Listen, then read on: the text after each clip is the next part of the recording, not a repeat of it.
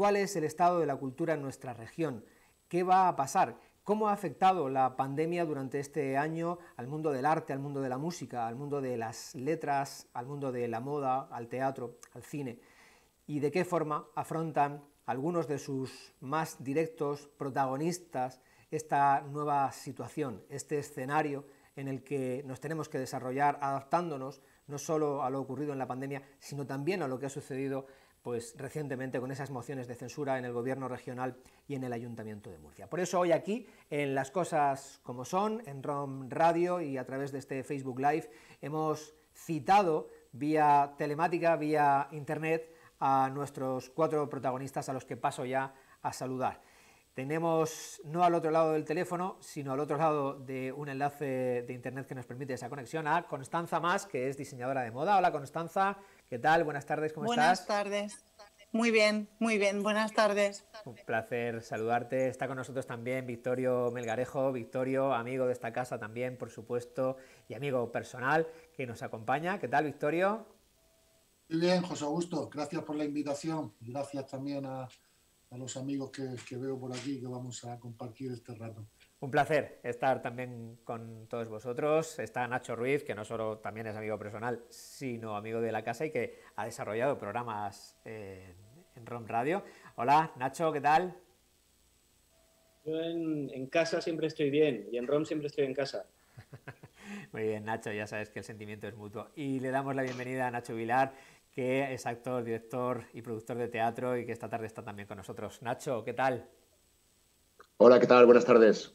Gracias a los cuatro por intervenir, por dejarnos eh, vuestro tiempo, por cedernos vuestro tiempo y poder compartirlo hoy con muchísima gente que seguro que nos seguirá, no solo ahora en directo, sino a posteriori y también en el resto de comunicaciones que iremos haciendo según esas declaraciones y esos comentarios que vais a hacer aquí en este programa. Lo que quiero pediros de inicio, por favor, es eh, un diagnóstico de, ese mundo de la cultura para ir ubicando a la gente, para que nuestros seguidores, nuestros oyentes, nuestros espectadores eh, sepan de verdad en qué momento nos encontramos. Constanza, en el ámbito de la moda y también, por supuesto, tu sentir en general con respecto a ese estado de la, de la cultura actual, ¿cómo, ¿cómo lo ves? ¿Qué percibes? ¿Qué sensaciones tienes? Em, bueno, todo ha sufrido una transformación a raíz de la pandemia. Desde el punto de vista internacional se ha producido una aceleración mm, deseadísima, que era eh, el giro hacia, eh, o sea, frenar el consumo, eh, el consumo responsable, la sostenibilidad y, por supuesto, una transformación digital que a muchos ha pillado con el paso cambiado porque la industria de la moda es un gran dinosaurio que, al que le cuesta mucho mm, adaptarse a los cambios.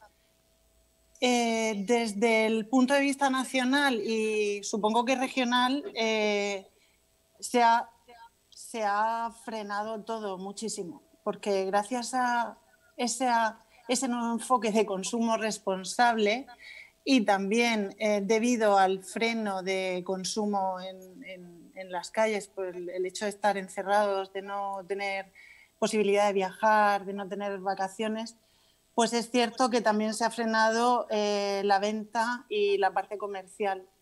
Entonces estamos en un momento de transformación que a mí me parece una grandísima oportunidad para, para cambiar y para replantearnos lo que todas esas pequeñas voces que ya estaban eh, clamando un, cambio de paradigma, eh, están teniendo mucho eco porque a la fuerza el cambio está sucediendo.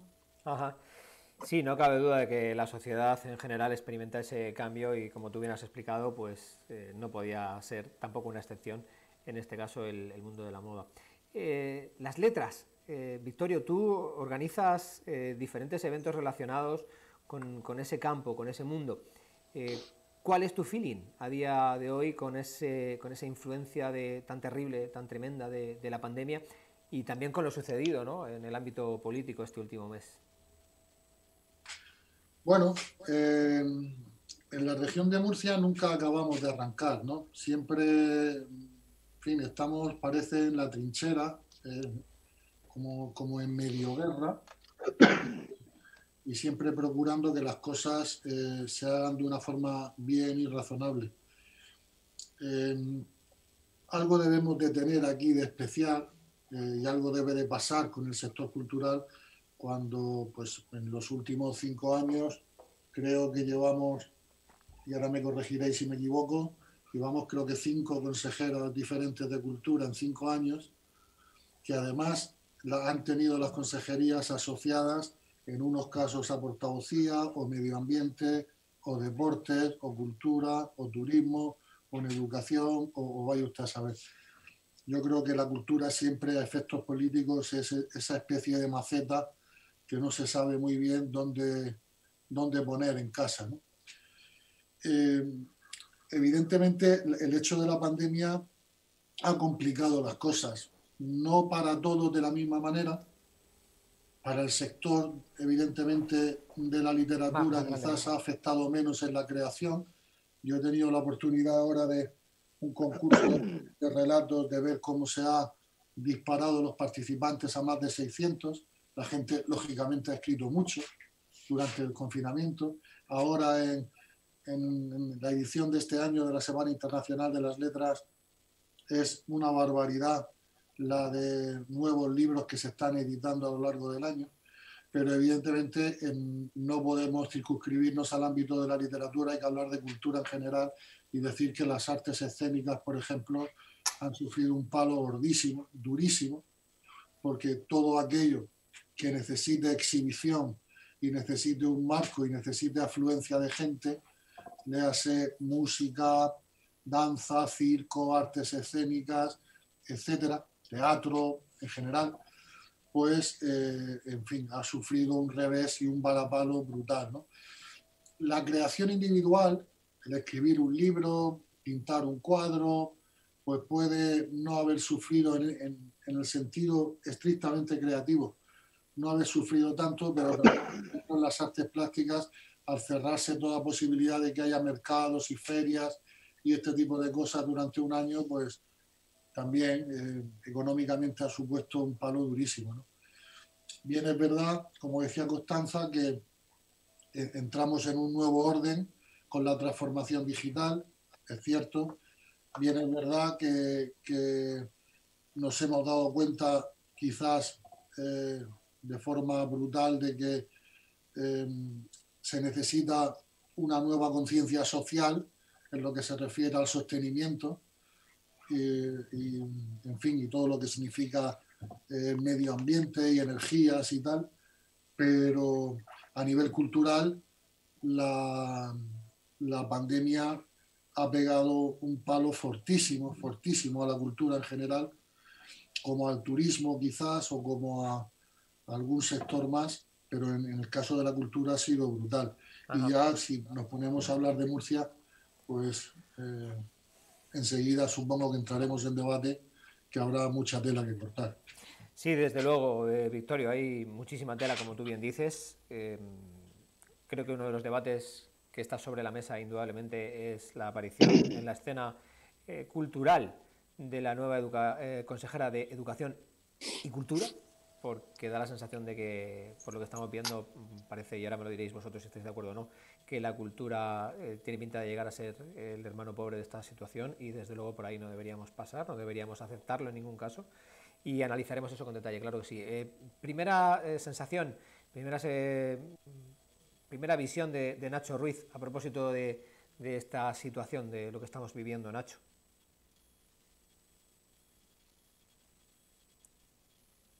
No sé si me escucha Nacho Ruiz ahora. ¿Ahora? Nacho, adelante. Bien. Eh, yo creo que eh, aquí hay que convertirse en dos personas para entenderlo. El ciudadano y el profesional o el técnico. Yo como ciudadano todo el proceso que culmina en la actual Consejería de Cultura lo he visto deplorable. Además vengo de Madrid de hacer una feria de arte y desgraciadamente estamos muy de moda.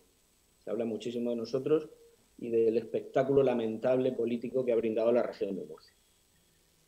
Como ciudadano comparto eso. como profesional, como técnico, eh, os decía Victorio que hemos tenido en cinco, no sé en cuántos años, en cinco o seis años, cinco consejeros de cultura. Yo ahí tengo una opinión que no sé si compartiréis, pero en estos cinco años hemos tenido consejeros nefastos, malos y regulares. Pero a mí me da igual. Me ha dado igual porque con quien yo trabajo es con los directores generales, con los técnicos, con los jefes de servicio y con los funcionarios. Es decir, eh, a mí me preocupa más quiénes van a ser los directores generales de la nueva Consejería de Cultura que la propia consejera de Cultura con quien yo me voy a relacionar o no en un plano puramente político que a efectos prácticos de mi, de mi trabajo como empresario cultural eh, pues es simbólico. Dicho esto, mm, yo creo que debemos entender, yo profesionalmente no dependo, no vivo de la administración, pero trabajo con ella, hago trabajos para la administración en Murcia, en Bilbao y en Pekín, si puedo. Eh, tengo que mantener esa cierta distancia, esa frialdad profesional, pero eso no quiere decir que no eh, debamos adoptar una postura crítica, de exigencia, no de que hagan cultura, porque el político no debe hacer cultura. Ese es el desastre, ese es el, horror. Cuando un político quiere hacer cultura, surge Pedro Alberto Cruz y todos aquellos años. El político debe propiciar la cultura. En un contexto como este, que es un contexto regresivo, durísimo, la última administración, Juan Antonio Lorca como director del ICA, sacó una serie de ayudas, de programas, el plan CREA, que fueron sensacionales, que fueron una referencia nacional, que se aplicaron muy bien, que llegaron a músicos, artistas, a galeristas, a empresarios teatrales. A mí me preocupa qué va a ocurrir con el plan CREA, por ejemplo. No porque sea una cuestión de ayudas, de becas, de subvenciones, sino porque es un proyecto serio para un contexto de crisis que se está haciendo en todas las regiones y que Murcia se ha hecho especialmente bien. Dicho esto, pues yo estoy abierto al debate con vosotros. Bien, pues vamos, vamos a plantear el debate. Enseguida entramos en materia ya con, los cuatro opinando sobre diversos temas, todos relacionados lógicamente con los que mejor conocéis. Y en este caso nos queda escuchar la, la misma reflexión por parte de Nacho Vilar. Nacho. Sí, coincido prácticamente con, mis compañeros, lo he dicho ya. Eh, hablo desde el sector de las artes escénicas, eh, que claro, nosotros sí dependemos de un público, sí dependemos de que unos espacios estén abiertos eh, y la mayor parte de, ese periodo, de este periodo los espacios han estado cerrados. salvo excepciones como han sido los teatros de la ciudad de Murcia o eh, Molina, con el Villa de Molina, el resto de espacios han estado cerrados la mayor parte del tiempo. De hecho, ayer eh, se volvió a abrir después de 13 meses el Teatro Vico de Jumilla. Eh, eso da ya, da bastante el mapa de lo, que, de lo que está siendo este año para el sector de las artes escénicas. hago hincapié en lo que decía mi tocayo Nacho Ruiz, respecto a la consejera o consejero y sus eh, directores generales. Efectivamente, habitualmente los que sí dependemos de las políticas que marcan eh, las consejerías o, las concejalías, eh, es con el técnico, es con ese director general con el que habitualmente tenemos que bregar el día a día. Para mí, una consejera de cultura podrá venir a un estreno, podrá ir a una, a la oración de una exposición, pero con quien tú marcas el día a día de lo que son las políticas culturales de la región de Murcia es con esos directores generales. Y completamente de acuerdo contigo, Nacho, que el programa CREA eh, ha sido un ejemplo a nivel estatal y que en estos momentos que entramos en la segunda fase veremos a ver en qué queda. Bien, perfecto. Pues nada, escuchadas vuestras reflexiones eh, de inicio, entramos en materia y voy a empezar justamente por esta última parte que me parece necesario y más allá de muy interesante. ¿no? Estoy hablando ah, sobre la visión que tenéis de la influencia de un consejero, en este caso de una consejera. ¿no? Os planteo a los cuatro, y por favor que empiece libremente el que quiera, la, siguiente situación. Eh, habéis hablado de que esa influencia quizá no sea tanta ¿no? a la hora de tratar con vosotros. Yo me planteo lo siguiente, eh, deben de marcar efectivamente unas líneas de actuación y a partir de ahí ser, digamos, los segundos escalones los que decidan, los que dirijan eh, pues, en cada momento y en contacto con los profesionales de, la cultura en este caso. Bien, pero ¿no teméis en este caso en particular que la consejera, la nueva consejera de Educación y Cultura, se centre mucho en educación por todo aquello que tiene que ver con el tema del PIN parental, aunque ayer ella en una entrevista en el diario La Opinión a nuestra compañera Fuensanta Carreres, pues eh, le decía que era algo más simbólico que otra cosa, y que por ejemplo de toda esa entrevista, como comentábamos off the record aquí, hayan pues eh, salido prácticamente eh, nada, dos pequeñas pinceladas para el ámbito de la cultura. ¿No os inquieta eso que tenga mucho foco puesto en la educación y apenas en la cultura y que en ese caso los directores generales estén un poco atados de pies y manos a la hora de, funcionar. Y abro debate, insisto, para los cuatro, que empiece el que, el que lo desee. Yo, eh, para, que, para que nuestros oyentes entiendan el papel de una consejera, eh, yo lo compararía con el de un ministro de Cultura. Yo a Mariano Rajoy lo conocí como ministro de Cultura. Mariano Rajoy fue un ministro de Cultura que transitó el ministerio, pero no tomó decisiones ni dejó una medida técnica. Con los consejeros suele pasar.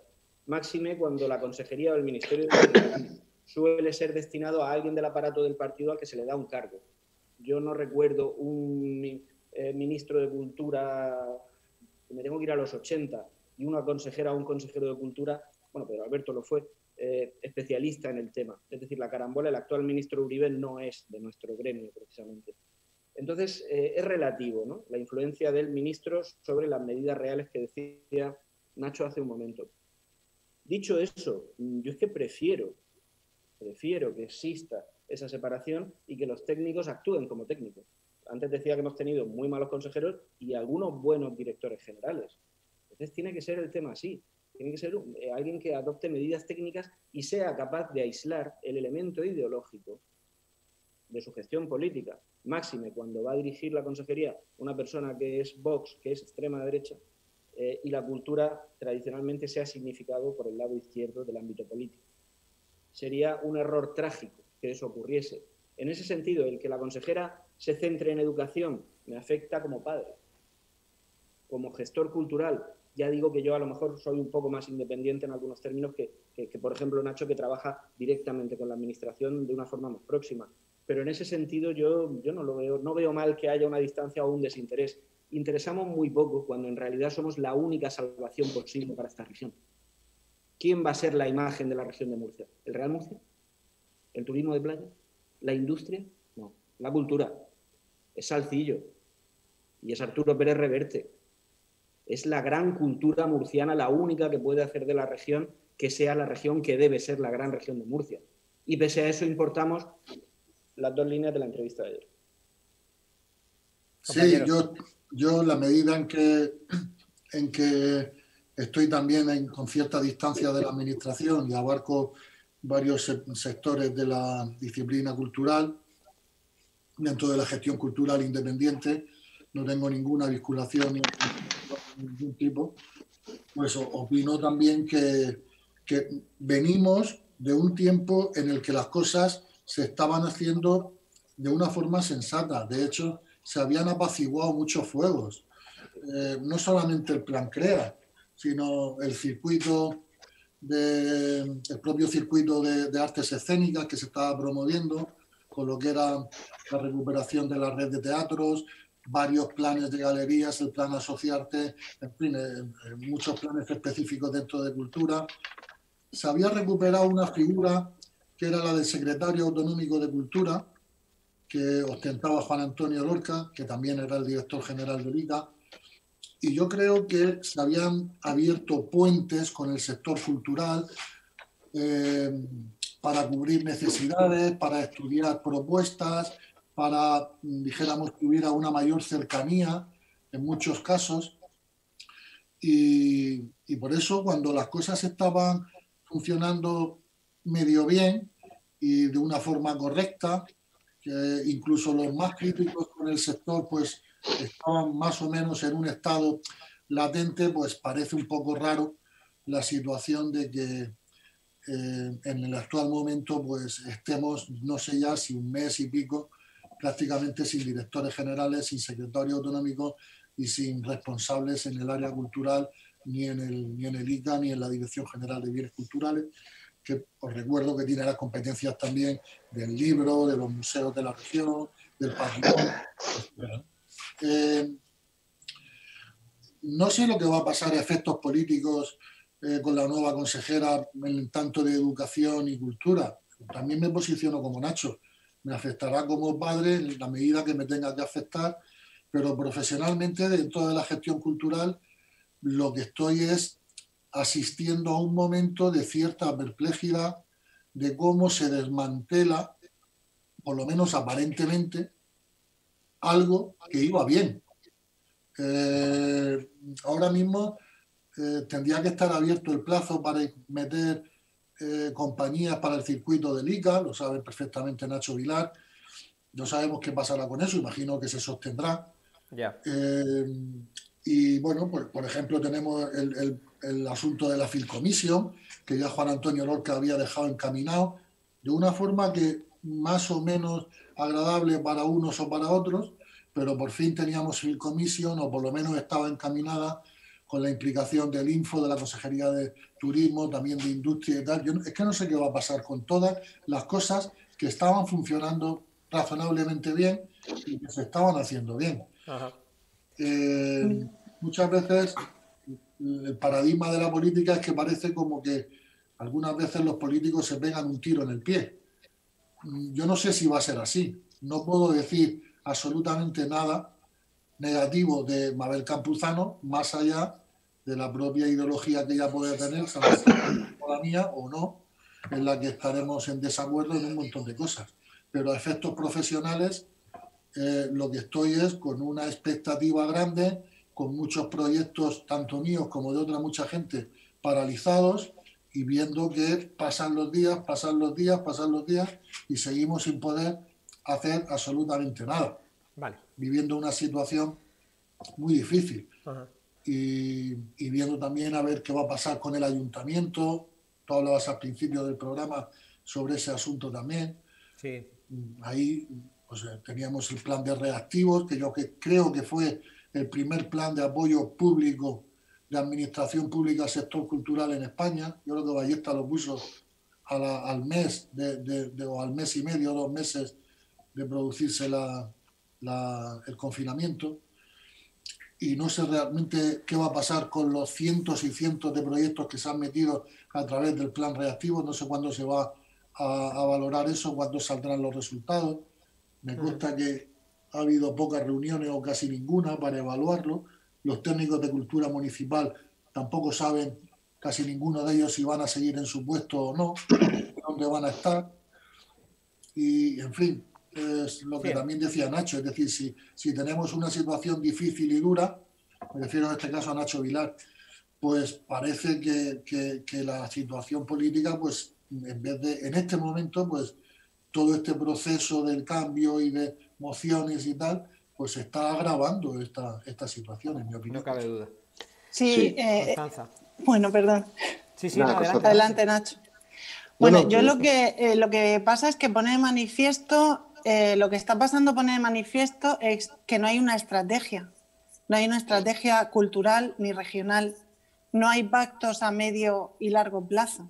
O sea, es que se cambia la cabeza, cambia el director, hay un gran vacío, no hay tiempo de reacción como está sucediendo ahora, porque es que realmente mm, quito a uno para poner a otro, pero no, no había detrás un programa. Y, y el verdadero, la verdadera tragedia es que todos esos planes que se habían iniciado, que, iban por buen camino, de repente se han desactivado.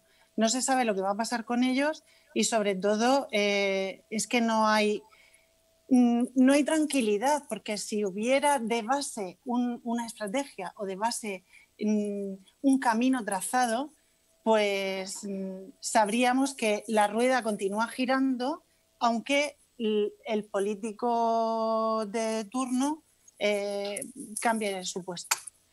Y a nivel, eh, a nivel de educación, a mí, me preocupa porque en Murcia eh, hay una escuela de diseño mm, en la que trabajan muy buenos profesionales, pero que yo he sido alumna de esa escuela mm, hace relativamente pocos años estudié una carrera hace muchos años ya relacionada con el diseño y eh, después me formé en moda en la Escuela de Moda de Murcia.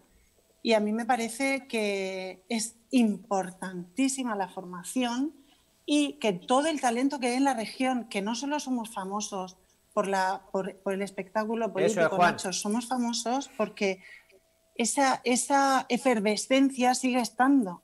Lo que pasa es que el talento, al, talento hay que acompañarlo, al talento hay que, hay que, el talento hay que monetizarlo. La creatividad, si no, si, si no ganas dinero, la creatividad se muere o se diluye. Entonces, hay que empezar por la formación, hay que empezar por la escuela de diseño, hay que empezar por la escuela de artes y oficios. Me toca más de lejos, supongo que la escuela de bellas artes todo eso hay que alimentarlo y hay que mimarlo para que todo el talento que hay en la región eh, se, fortalezca y se consolide. Y luego hay que hacer ese acompañamiento desde que alguien sale de las escuelas y de la facultad hasta que eh, realmente crea su propio mm, medio de vida a través de la cultura o de la creatividad. Por lo tanto, la sensación que tengo es que estamos mm, como pollo sin cabeza. Mm. Así, diciéndolo coloquialmente. No sabemos ni a dónde vamos, ni, lo que nos deparará mm, dentro de dos años. ¿Qué, va a pasar? O sea, ahora estamos como en una transición. Y después, otro cambio político y otro mm, sin estrategia, sin estrategia del diseño, sin estrategia del arte, o como cada uno en su sector lo contemple. Yo, la verdad hay que, tener una dirección. Es que. Mientras que os escucho, em, de verdad eso es exactamente lo que siento. ¿eh? Lo que acaba de definir Constanza es como una especie de, bueno, pues de, orfandad en la que eh, uno, eh, yo, particularmente es lo que he sentido todo el tiempo. Nacho Vilar, te escuchamos. Sí, lo que pasa es que llevamos muchos años de orfandad. decía Constanza ahora que estamos en un periodo de transición o podía, o podía parecer un periodo eh, llevamos, estoy hablando de comunidad autónoma, llevamos 26 años de gobierno de la comunidad autónoma y no se ha sacado un plan general de cultura, un directorio de cultura, es decir, esta es la línea que vamos a seguir. hemos ido pasando por diferentes consejeros y consejeras y cada uno ha venido, ha improvisado, eh, desde el que ha sido más protagonista, como antes se decía Nacho Ruiz, a el que ha pasado desapercibido, como fue el caso de Javier Celdrán, que fue el consejero de Cultura más breve que, hemos tenido. Fue casi tan breve como el ministro de Cultura en el gobierno de, Pedro Sánchez. Eh, y es, eso es realmente lo preocupante, porque si hubiese un plan general de cultura al que siguiésemos, lo hubiésemos consensuado todos, daría lo mismo los políticos que fuesen pasando, porque eh, seguiríamos ese, directorio, eh, podría llegar el consejero y decirle, bueno, pues mira, ahora me gusta un poco más la pintura o me gusta un poco más las artes escénicas y hacer especial hincapié ahí pero tendríamos ese plan general, cosa que no ha existido. Y luego me preocupa muchísimo dos cosas.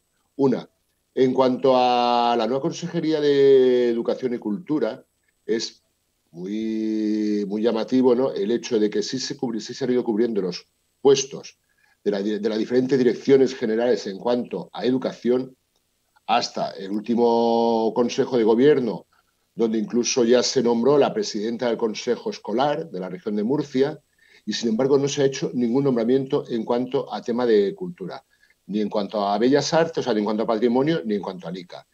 Eh, estos son tiempos que van corriendo en nuestra contra y sobre todo además que tampoco se han aprobado los presupuestos de la región.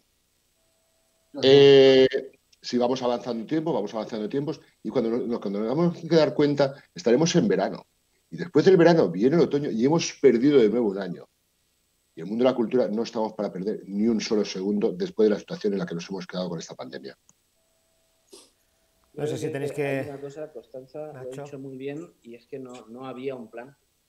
Es decir, todo esto está sucediendo de una manera que, que, no estaba prevista por nadie. En educación, obviamente, quizá puede, se puede entender que sí estaba prevista, aunque, bueno, eh, por lo que sé de educación, se han fijado, han trabajado un poco sobre técnico.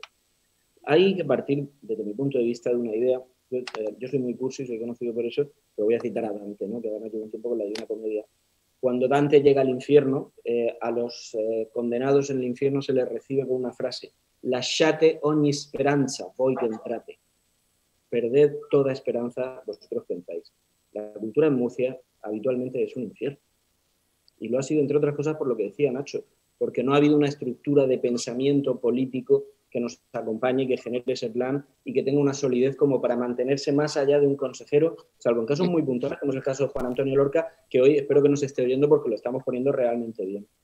Eh, no hay un interés. Yo dentro de todas estas carambolas que cada vez que cambia la consejería hay que tener en cuenta que se cambia la papelería, se cambian los membretes. Me alegra por los diseñadores que tienen que volver a hacer la imagen de cada consejería, pero es una pérdida de dinero lamentable. Yo eh, he ido cambiando con el tiempo eh, mi forma de pensar y pienso que cultura debería depender de presidencia directamente y quedarse ligada y que al menos siga las directrices políticas de la presidencia y se entienda como un elemento de prestigio. El día que la cultura se entienda en Murcia como un elemento de prestigio, pasaremos del infierno al purgatorio.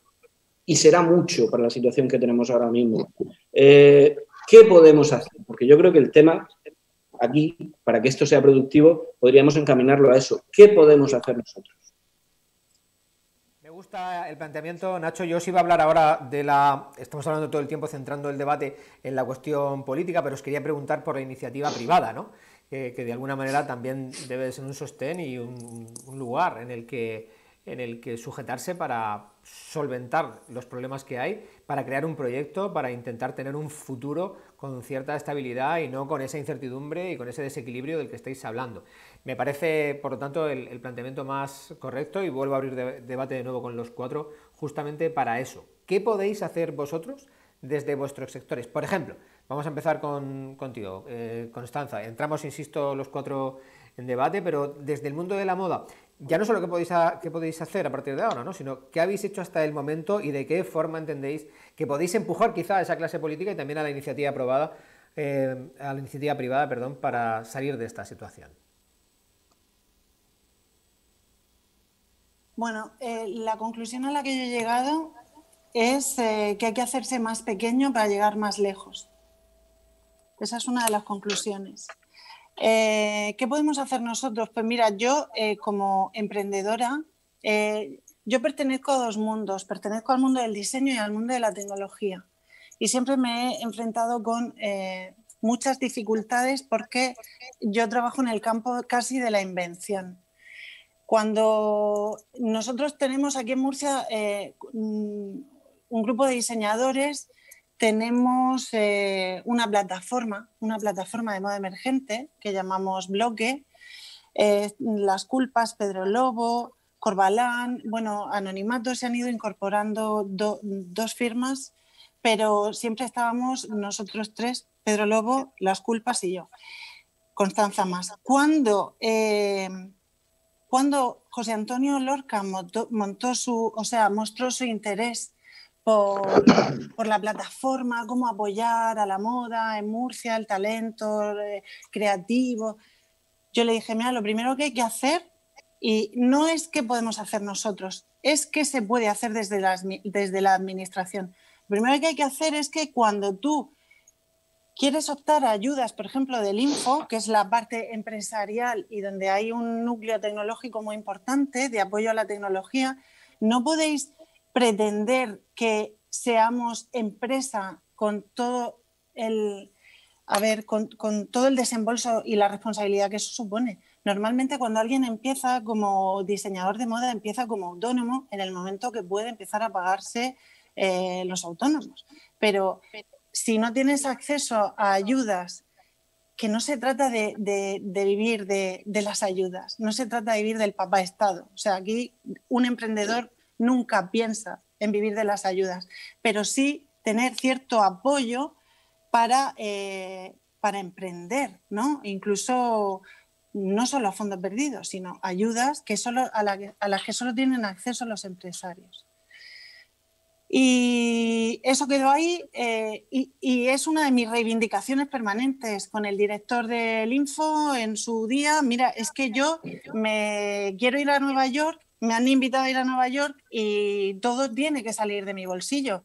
Pero es que yo mm, tengo, tengo unos límites.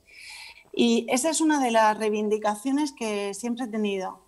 ¿Y qué podemos hacer nosotros? Pues aparte de hacernos más pequeños, para ser más sostenibles económicamente, eh, asociarnos, mm, montar una cooperativa, no sé, Así, a efectos prácticos es lo que, lo que se me ocurre. conforme vayáis eh, vosotros dando vuestra opinión, quizá pueda yo vislumbrar alguna, alguna salida más. Gracias. en, mi caso, eh, recuperando esa, esa pregunta que tú lanzas, José Augusto, de qué podemos hacer, yo casi ya lo he probado todo. ¿no? He puesto todo lo que se me ha ocurrido, toda la carne en el asador. ¿no? Eh, ya me conocéis también, he promovido que en Murcia por primera, es que éramos la única región que no tenía, y lo sabe muy bien Nacho Vilar, no tenía eh, una asociación de gestores y programadores culturales, como en el resto de España, de la que Nacho, por cierto, forma parte de la Junta Directiva Nacional. Promoví que eso se realizara, se fundó, se organizó. Yo me he desvinculado porque no, no, tengo tiempo para poder estar, pero ahí está.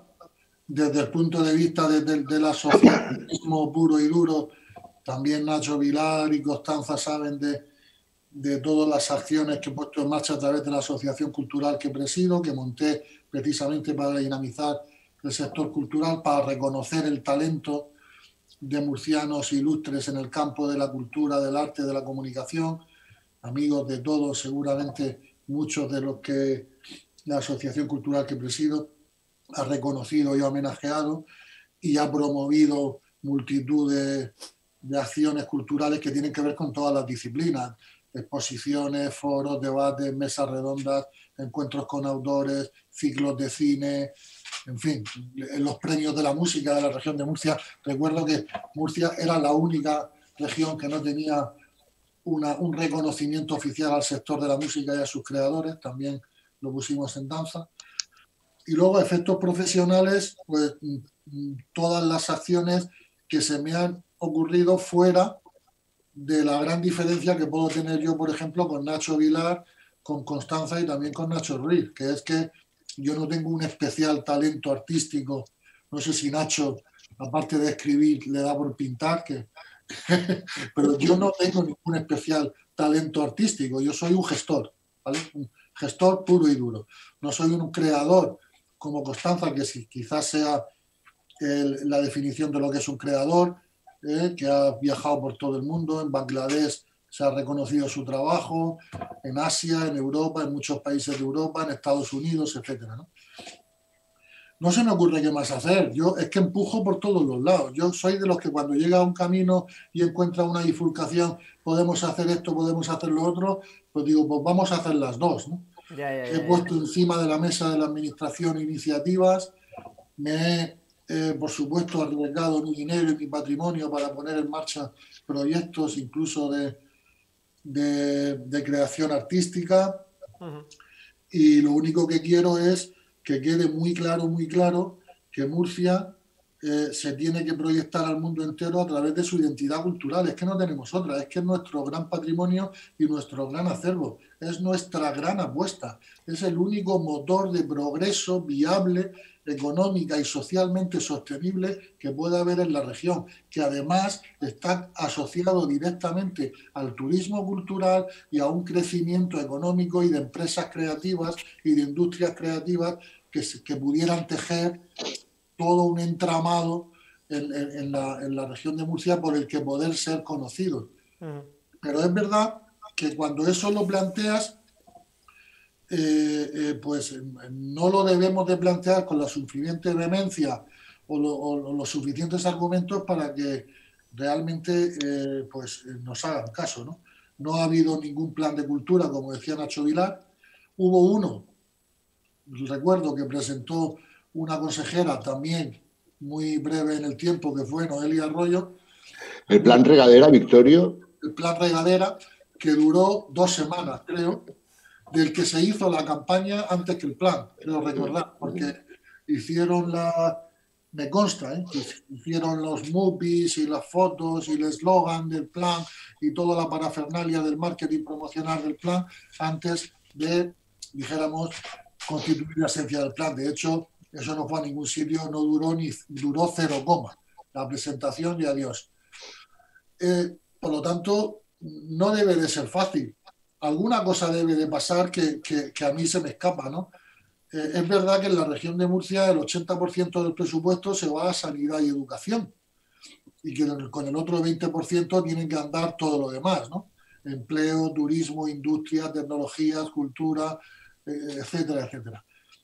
Pero, no sé, a lo mismo tenemos un, problema endémico de redistribución de la renta nacional en la región de Murcia. Es que yo no sé cómo es posible que en, Galicia o en, o en, el País Vasco, a lo mejor por la, por la situación de fiscal, eh, no sé cómo es posible que puedan existir esos apoyos culturales tan grandes a, por ejemplo, al sector audiovisual o artes escénicas, de esto sale mucho Nacho Vilar, debería de hablar él. Y en Murcia tengamos siempre que estar rascando eh, para ver si sacamos con heroicidad y con gran reconocimiento por el responsable de turno. Yo agradezco a Juan Antonio Lorca los desvelos que me constan que ha tenido que hacer para poder sacar partidas, para poder apoyar al sector cultural. Pero recuerdo, por ejemplo, que, que hay industrias audiovisuales de creadores murcianos que se tienen que ir a domiciliarse fiscalmente en otras comunidades autónomas porque aquí es imposible acceder a ayudas que puedan darle viabilidad a los proyectos cuando, por ejemplo, en, Canarias, por poner una, en Galicia o en otras, pues eh, se están dando unas ayudas al audiovisual brutales. ¿no? Eh, y no es que todo se tenga que sustentar en las ayudas, pero si queremos de verdad eh, identificar a la cultura como el gran ADN de la región, eh, pues mm, más allá de poner todo el empeño personal que sabéis que pongo en, mi quehacer diario, es que ya no se me ocurre qué más. no te metemos más presión. que yo puedo hacer algo, estaré, estaré dispuesto a lo que sea. No, no, no te metemos más, más presión, Victorio, que sabemos que no, que no paras, que desde luego como gestor no sé qué, cosas se te pueden criticar, yo creo que pocas, pero desde luego una de ellas no será la inactividad, eso sin duda.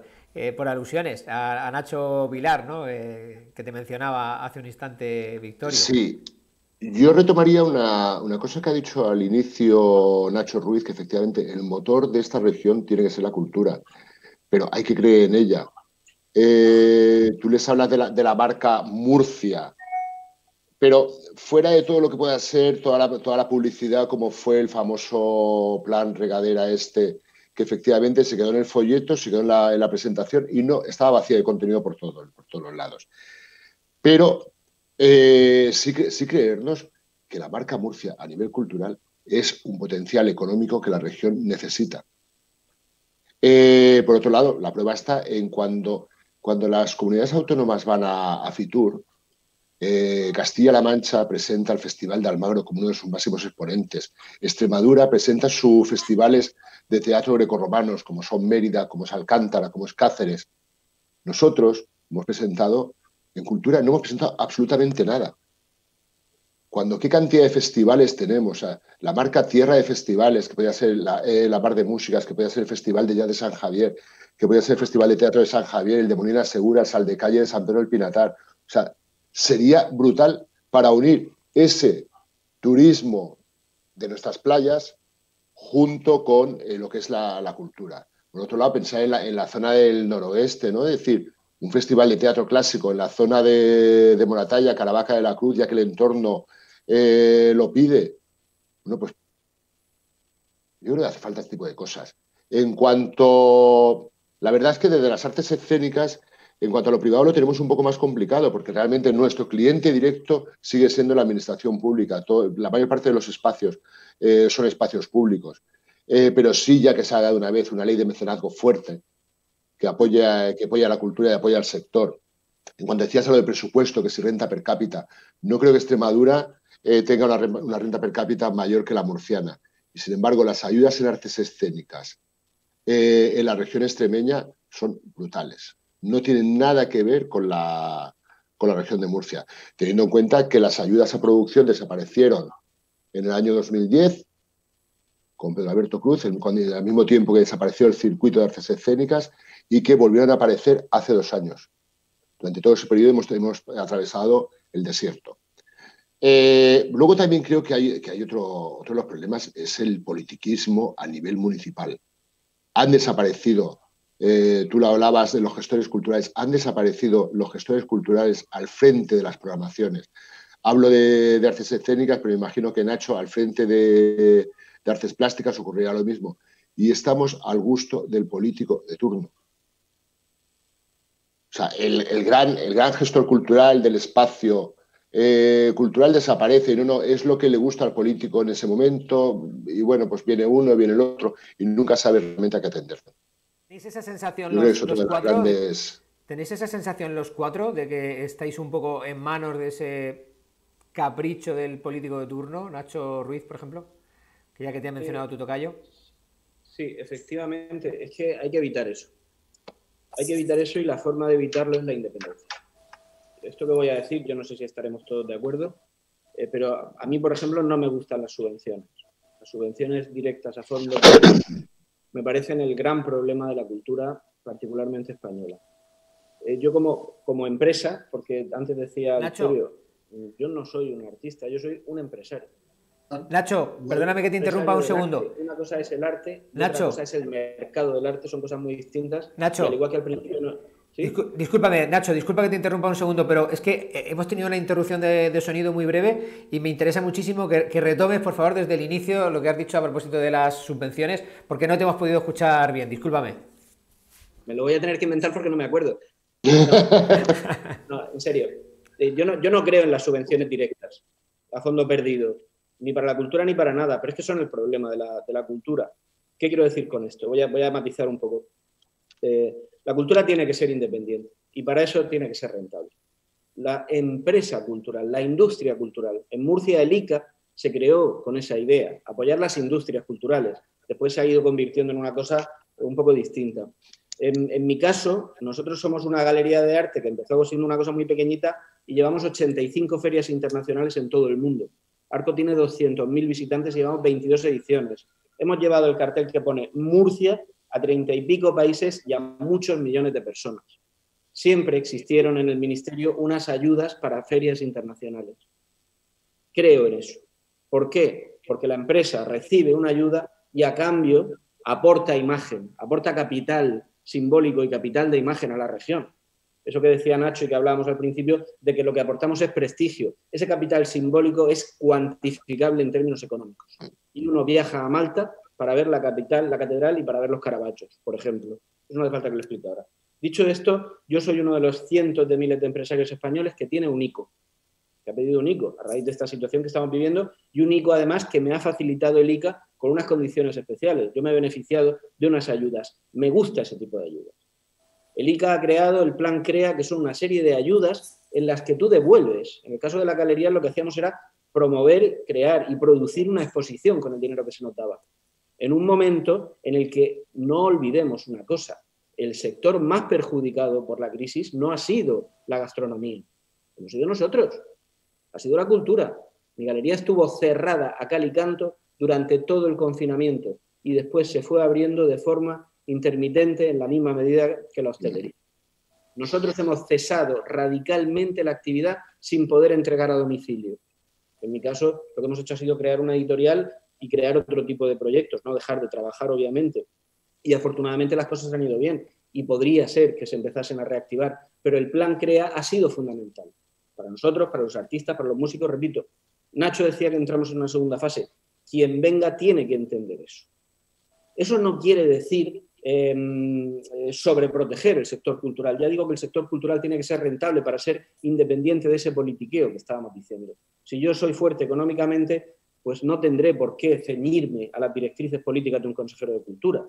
Ese es el gran reto. Eso es lo que tenemos que conseguir. Pero yo creo que debemos entender lo que es cultura y lo que es industria cultural. Yo soy industria cultural. Nosotros en casa decimos una cosa, en la galería no se habla de política porque todos mis artistas son de izquierdas y todos mis clientes son de derechas. Separemos una cosa de otra y entendámonos a nosotros mismos como industria, como empresa. Proyectémonos hacia afuera porque no hay otra manera. T20 no hubiera podido sobrevivir solamente en Murcia, porque nunca nos hemos plegado a esas directrices políticas. El ampliar mercados es lo que te permite ser más o menos solvente y no depender de las ayudas. Pero es que esas ayudas ahora son necesarias y debemos luchar por ellas. Y quien entre debe entenderlo. Ahora, ¿cómo nos vamos a posicionar? Pues yo creo que este jueves habrá Consejo de Gobierno. Entiendo que el viernes se anunciarán los directores generales y yo creo que a partir de ahí pues, podremos empezar a hablar de, cuestiones prácticas en la cultura en lo que refiere, en lo que se refiere a la Consejería de Cultura. Gracias, eh, Nacho. Y Constanza, no sé si en el campo de, la moda, donde tú te mueves especialmente, eh, concuerdas con estos eh, pensamientos, por ejemplo, los, que han dejado los compañeros ahora mismo. Sí, en realidad ahora mismo lo que necesitamos es una transformación digital. Todo lo que todo lo que se ha paralizado por no poder ir personalmente o presencialmente a los locales o a, los puntos de venta, todo eso necesita una transformación digital. Eh, pero yo lo que quiero decir es que no, no son ayudas porque sí, o sea, tienen que ser ayudas con un objetivo. Por ejemplo, en el campo de la moda o en el campo de, no sé, voy a hablar del campo de la moda, no de, cosas más complejas. En el campo de la moda, mm, si tienes que montar una tienda online o si tienes que internacionalizarte o si tienes que eh, todo esto eh, para eso, o sea, para, cosas eh, concretas y objetivas, detectar las necesidades del sector. Y una vez que tienes detectadas las necesidades del sector, las ayudas que vayan dirigidas a esas necesidades. No, una gran bolsa de ayudas, no, pero ¿para qué? ¿Para qué? Eh, como es pan para hoy y hambre para mañana, no. Vuelvo a insistir en el tema de la estrategia. No. Tiene que tener un objetivo y tiene que tener un sentido y una dirección. Sí, sobre el, tema, sobre el tema de las ayudas sí me gustaría también apuntar una cosa. Porque muchas veces cuando hablamos de ayudas, cuando hablamos de, subvenciones, quien no conozcan eh, a fondo la materia pensará que somos unos subvencionados. Muchas veces eh, creo que ha sido porque no se ha explicado realmente cómo se tiene que justificar hasta el último céntimo de euro cualquier ayuda que se recibe, eh, al menos de la comunidad autónoma o del Ministerio de Cultura. Tú recibes un dinero y tienes que justificar hasta el último céntimo. por lo que decías efectivamente, Nacho, somos eh, sector, somos industria cultural y, como tal, debemos recibir nuestras ayudas igual que las recibe cualquier sector. Porque muchas veces se dice, es que ya está en el sector, el sector de los mantenidos de la cultura.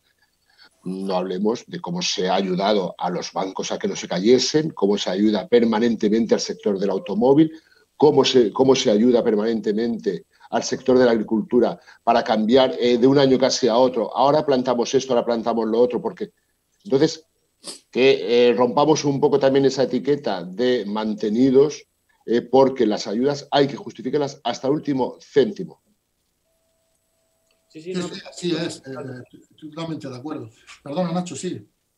No, totalmente, pero es que yo quiero mm, redundar un poco en esa idea eh, precisamente porque es la que más daño nos hace. Por una parte, porque a nivel de imagen lo que hace es pervertir un poco el trabajo que estamos haciendo realmente, que es ser la dignidad de la región de Murcia. Cuidado con lo que acabo de decir. Agárrate las botas que se te va a quedar la voz de serio. La dignidad de la imagen de la región de Murcia, porque somos el momento más alto que puede vender la imagen de la región de Murcia. Eso es así, somos capital simbólico y capital de imagen. Eso por un lado, la independencia. Eh, por otro, que esas ayudas, como decía Constanza, sean unas ayudas que ayuden a fomentar el sector. Un sector industrial, porque somos industria. Es que tenemos que, entender muy bien cuándo somos artistas y cuándo somos industria. Como industria somos una industria necesaria y una industria necesitada, que como bien has dicho tú, Nacho, recibe muchas menos ayudas que la, la gastronomía y la restauración, por ejemplo. No quiero comparar, no son sectores equiparables, pero es que nosotros tenemos otras cosas y somos tan necesarios como ellos. Eh, para... y hay, que, hay que poner en valor lo que significa el porcentaje del PIB de industrias culturales por comunidades o por países. Eh, ya en España vamos mal comparado con países como Francia o como Estados Unidos, pues en la región de Murcia no, no estamos eh, muy bien posicionados en ese sentido, cuando ya está más que demostrado y a nivel europeo se han realizado trabajos muy solventes por eh, consultorías y por entidades incluso financieras, diciendo que el sector cultural puede ser uno de los grandes promotores de empleo, de riqueza y de progreso. en, los próximos años, que las industrias culturales tienen una responsabilidad importante, no tanto en cuanto como, como conservadores y, por el mantenimiento del acervo cultural y de la identidad y de, lo que significa eh, propiamente el ADN de un pueblo, sino también económicamente. ¿no? Eh, no sé si todavía estamos en un proceso en el que hará falta una reconversión, yo creo que no, que eso ya, gracias a Dios, se pasó, pero sí que evidentemente hay que entender que somos empresas y que como empresas tenemos que mantener nuestra independencia, tenemos que vivir de nuestra cuenta de resultados, mantenemos nuestros clientes, yo edito libros y me la juego como Nacho, o pongo proyectos escénicos y me los juego también, eh, como el otro Nacho, eh, y, así, y así vamos todos. Entonces, en fin, lo único que, hay que decir en, cuanto a las ayudas es que bienvenidas sean todas aquellas ayudas que sirvan para, para que la viabilidad de empresas que tienen mucho que decir a la hora del crecimiento de la región y de la asociación con lo que es el turismo cultural, el emprendimiento y la generación de una marca que de verdad nos proyecte, pues podamos tener ayudas, por supuesto, eh, eh, contabilizadas, registradas, en fin, eh, auditadas y todo aquello que sea necesario, pero las ayudas que, de verdad signifiquen que, que, te pongan en disposición de poder hacer algo que si no es imposible, es que son, vamos, son indiscutibles. Otra cosa son aquella época de subvenciones a fondo perdido que caían a unos o a otros, vaya usted a saber en razón de qué y para, y, para qué cosas, ¿no? Yo esas no las veo tan claras y estoy con Nacho en que, en que precisamente no han generado una buena marca y una buena imagen del sector cultural. Pero también es cierto que tenemos las mismas necesidades y tenemos los mismos derechos, como decía Nacho Vilar, de cualquier otro sector económico es decir, eh, sea el que sea, eh, industrial, de servicios, empresarial o, agroalimentario. Es decir, hay que, hay que tenerlo en cuenta. Tenemos trabajadores, cotizamos. En fin, es que no sé qué diferencia hay. Yo me acaba de llegar mientras hablaba con vosotros por un mail que todavía no he abierto la liquidación del IVA de, de, mañana. ¡Qué miedo! ¡Qué miedo, Victorio, por Dios! Que hay que pagar mañana, como siempre el último día, claro. Eh, en fin, eh, mañana toca a vosotros grandes el bolso para contribuir como ciudadanos a, las arcas del Estado y, según las leyes vigentes. Por lo tanto, lo que quiero también es que poder tener acceso a, que, a, ser ayudado, a, que se me apoye, a que se me faciliten las cosas, por no hablar de un asunto que me parece capital que hay que tocar antes o después, que es la burocracia que también se podía dar mucho ahí. Ojo, Victorio, ahí, perdona que te interrumpa, eh, de la burocracia tendríamos que hablar, no solo relacionado obviamente en la administración con la cultura, sino con cualquier ámbito. Es una de las cosas que estaremos seguro todos de acuerdo en que paralizan eh, por completo los procesos, que la ralentización es endemoniada y que eso eh, a más de uno le, sumen una situación más que, bueno, por encima de lo problemático. Me quedo con varios titulares en esta última ronda de intervenciones vuestras. No somos unos mantenidos de la cultura, ha dicho Nacho Vilar. Ayuda sí, pero con, un objetivo, ¿no? Como han comentado tanto Constanza como, como Nacho Ruiz, y también lo que acabas tú de decir, ¿no, Victorio? El hecho innegable de que hubo un tiempo en el que efectivamente las subvenciones caían pues del cielo como, como un maná, igual que caían también en otros, en otros campos profesionales procedentes de la administración, sin más criterio que el dedazo de turno, lo cual entendemos y esperamos que esté absolutamente superado y que las cosas se hagan con un criterio profesional como demanda la, sociedad.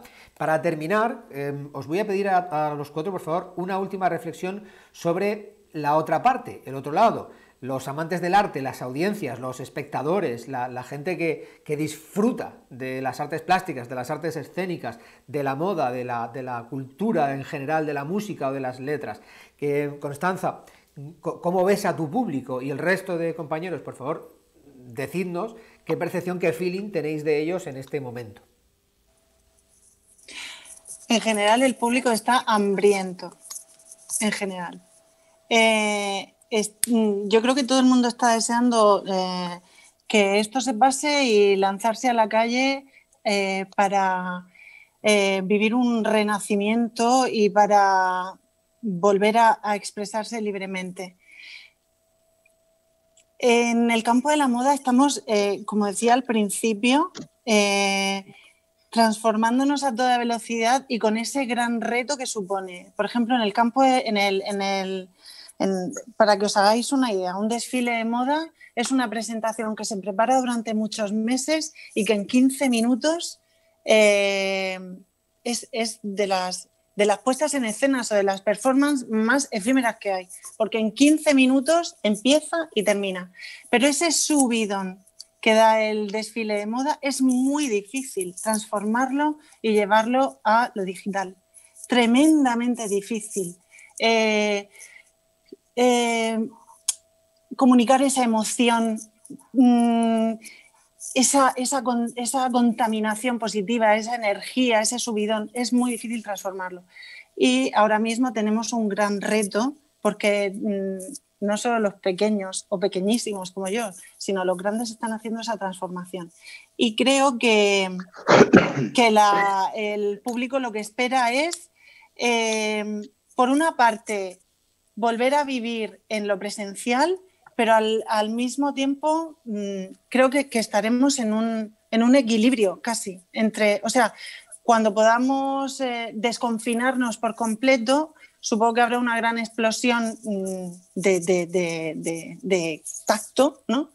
Pero luego mm, habrá, volveremos, o sea, habrá un nuevo equilibrio entre lo online y lo offline. Esa es la impresión que yo tengo.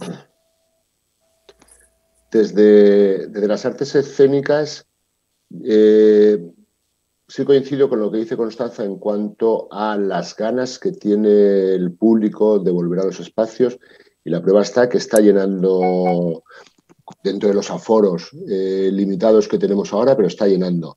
Con una particularidad que además se ha, rejuvenecido mucho las edades, eh, quizá por otras, alternativas de, ocio, han vuelto a redescubrir las artes escénicas y los teatros se han, han rejuvenecido sus públicos. Eh, quiero discrepar, Constanza, en cuanto a lo de la transformación digital, ya que yo en, mi campo, en el sector de las artes escénicas, sí creo en las artes escénicas en vivo, no tienen esa emoción, esa, ese poder de emocionar al espectador que pueda tener eh, el online, que pueda tener el streaming, como ya hemos visto en algunas representaciones. Sí, se hará una incursión, eh, pero no creo que esa balanza en, nuestro sector se equilibre, sino que, bueno, será una baza más, será un campo más que se ha descubierto ahora, pero que prevalecerá el arte en vivo al streaming o online. Nacho Ruiz. Yo vengo de una feria de arte que se ha podido celebrar más de un año después, que se estampa, que se hizo en Madrid, y ha sido un éxito de público ha sido un éxito de ventas, ha sido un éxito de imagen. Han pasado ya 10 días y no tengo conocimiento de casos de contagio porque las medidas de seguridad fueron efectivas, se hicieron las cosas bien, la feria funcionó y eso es un síntoma. El público, como bien decía Constanza, está deseoso. Nos hemos digitalizado todos, todos hemos trabajado mucho en redes y ha estado bien. Hemos hecho un gran servicio público en los tiempos del confinamiento eh, y yo creo que, es simplemente que vayamos venciendo algunas fronteras para volver a, 2019 y cometer los mismos errores que entonces. Pero no quiero dejar eh, una cosa que se me ha quedado antes de las subvenciones. La subvención puede ser una cosa terrible y perniciosa. En la Holanda de los años 70 el Estado era tan rico que dio subvenciones sistemáticas a cada por el hecho de ser artista. El resultado fue que no existe un solo buen artista holandés de los años 70. Por contra, Europa se construyó sobre subvenciones, que fue el Plan Marshall. Después de la Segunda Guerra Mundial, un programa de ayudas ayudaron a construir la industria. Las subvenciones y las ayudas de la cultura son ayudas para construir un sector cultural necesario y fuerte e independiente, que redunda en la región en términos de imagen simbólicos, pero también económicos, porque somos un sector industrial. Bueno, estoy de acuerdo con, los tres. Estáis diciendo lo que eh, estés hablando con mucha sensatez y con mucha realidad. Eh, la gente está deseosa de, de, volver a y de volver a acceder a espectáculos culturales en todos los ámbitos. entiendo también que la gente está también agradecida a lo que el sector de la cultura ha supuesto durante el tiempo más duro de la pandemia. No, no olvidemos cómo grandísimos artistas, teatro, música e incluso talleres, que muchos artistas eh, efectuaban talleres durante el tiempo de confinamiento que a todos nos hicieron la vida más fácil o, por lo menos más amena. ¿no? por lo tanto, hay un agradecimiento también en ese sentido. También entiendo que hay que trabajar un poco en el concepto de que la cultura no debe de ser siempre, el acceso a la cultura no tiene por qué ser siempre absolutamente gratuito. ¿no? Hay una conciencia de que los eventos culturales tienen que ser gratis y que tienen que estar en muchos casos eh, organizados ya así, previamente, con patrocinios o subvenciones. Y, bueno, hay que también em, insistir en esa labor de reeducación de que la cultura también es un consumo que le corresponde también al ciudadano en la medida en que quiera contemplar o asistir a un espectáculo único y, probablemente inolvidable, ¿no? en, cualquier caso. En líneas generales me refiero. Eh, está pasando, por ejemplo, sobre todo con el sector de la música o con, muchas cosas también con las artes escénicas. Eh, yo creo que, en ese sentido, mm, por lo menos en la región de Murcia, vamos bien. Yo creo que hay público para las cosas y que la gente tiene ganas de ver cosas y que la gente tiene ganas de ir a teatros y tiene ganas de asistir a salas y tiene ganas de que haya galerías abiertas y que se programen exposiciones y presentaciones de libros y, todo lo que suponga el sector cultural, gracias a Dios. Así que mm, vamos a ver si somos entre todos capaces, eh, coordinados o liderados por la administración que a, la que le compete esa labor, de, de poder poner encima de la mesa pues eso, pues lo que decía Nacho Vilar ¿no? y Nacho Ruiz, también un plan, una estrategia, un posicionamiento, algo que dé sentido y que le dé futuro al sector y a las industrias culturales en la región para los próximos años. Muy bien, pues yo creo que ha quedado el panorama, no, no, no, sé si mejor, no sé si mejor, estéticamente seguro que mucho mejor con la intervención de nuestros cuatro invitados de hoy, de pero desde luego habéis dejado yo creo que muchas reflexiones para profundizar en ellas, para que los dirigentes políticos mediten, para que también la iniciativa privada tenga una visión quizá distinta porque el sector lo necesita. Han cambiado mucho las cosas para todo el mundo y la cultura está dentro de eso y debe no solo de adaptarse y proponer nuevas formas, sino hacerle entender en la comunicación la más idónea posible a todos los agentes que participan de ella que hay que trabajar no solo muy unido y codo con codo, como suele decirse, sino de una forma yo creo que coherente y buscando resultados, porque sin eso también nos podemos encontrar con, muchas dificultades. Ha sido un gustazo teneros esta tarde aquí con, nosotros, ha sido también gracias al trabajo que han hecho nuestros compañeros en, el control técnico, tanto de audio como de vídeo, Javi López y Joaquín, perdón, Javi López y Juan Antonio que lo tenemos justo ahí, ahí los podéis ver, a los dos, están trabajando de maravilla.